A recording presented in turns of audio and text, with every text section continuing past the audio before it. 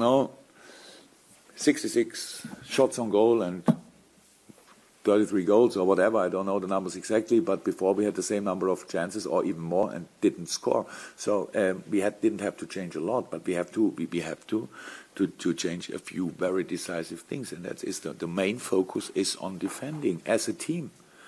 It's, it was our job it will never end probably. It will never end but um, it's our job to to make sure that you don't discuss all the time our defense. It's because it's not the problem was never our defense. Yes in single moments but you cannot talk about 500 situations in a game and you talk about always about one or two situations. We had to sort it as a team. And um, that's the best thing. In the last game, the door opener was the first goal, of course, and but the second goal was a team goal. It was defending together. It was a pass which we forced from them, and we was we won the, the ball. Sadio pass pass goal. So for me, for the world, the most the, the nicest thing is how we finish it. For me, the nice thing is how we win the ball in this moment because we are compact, one it up, but but still compact, and that's what we have to be. And um, so. Um, I'm not sure was it easy, was it difficult. It was just a job we had to do. And um, after Tottenham, for sure, we need to show a reaction. Um, but it's now long ago, and um, we have to we have to carry on. There's no doubt about that because um, all what we again what we are talking about is the uh, is the past, and we have to we only have influence on the future. And the next the future is Everton, and we have to be ready for that. Jurgen, how different a proposition do you think Everton will be than they, they may have been 10 days ago with the new manager? And as a consequence, how different will your strategy be? I had a home game against West Ham, right? Before Sam. Sam was in the stands, I think. Um, yeah. Um, there's no doubt about the quality of Everton. It was kind of a negative run. It was um, no results, no confidence at one point, and they not sure, but they needed a kind of a change. They can only, or they thought they needed a, a, change. That's what they did. It needed a little bit of time uh, to, to to get it. But we all know that Everton is, if it's not top six, it's a top seven team then usually, and that makes it really difficult. It's a fantastic club, and um, so um, I don't know how big the difference is because I didn't watch a lot of games five weeks ago. Now I saw the last four. That's uh, that makes it that makes it um, really different then. And they are in a good moment and they gain confidence. They scored the goal of the season probably. Wayne, nice one. And um, so a lot of positive things at Goodison Park in the moment, and um, that I have no problem with that. They can win all the games over the season, apart from the games against us. That's all it is. This is your fourth Merseyside derby has the the occasion matched what your expectations were of it? You know, as as somebody who knew about the Merseyside derby, watching from afar, but now that you're part of it, has it lived up to that? Has it gone beyond what you expected? What's it like for you in terms of the intensity of it all?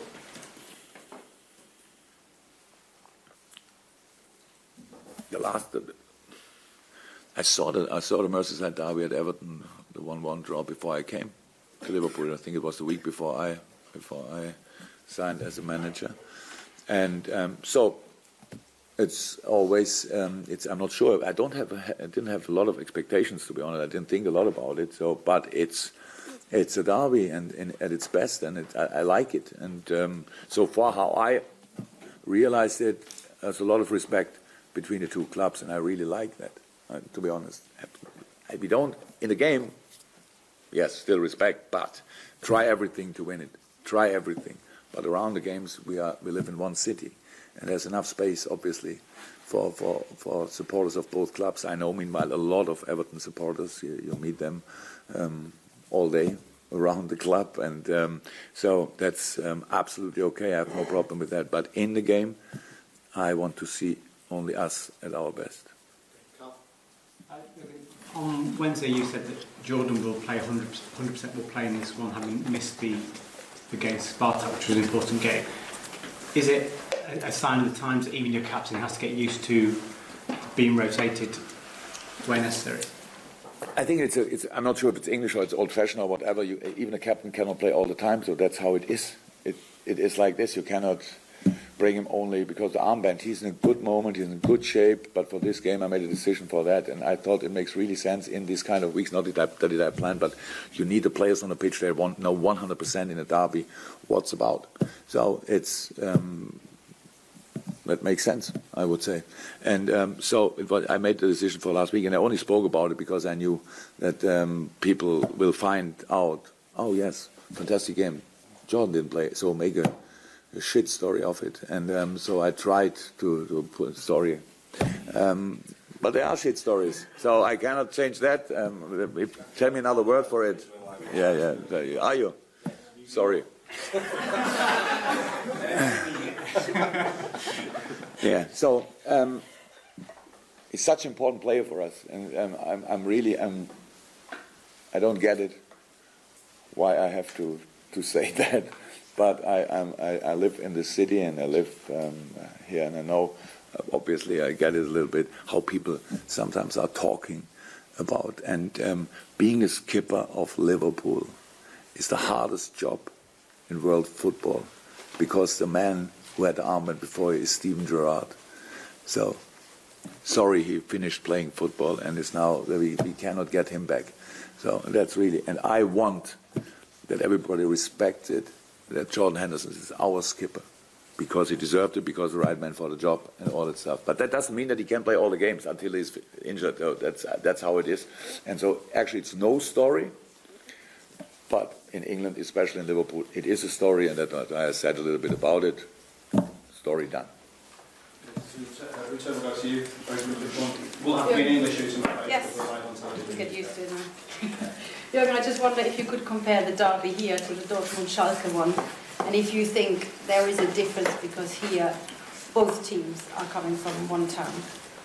That's a difference, and that's a big difference. And, and to be honest, uh, in in the game, um, Dortmund and Schalke has uh, two fantastic stadiums. So both in both stadiums, uh, the, the, the, atmosphere and always in the the legal.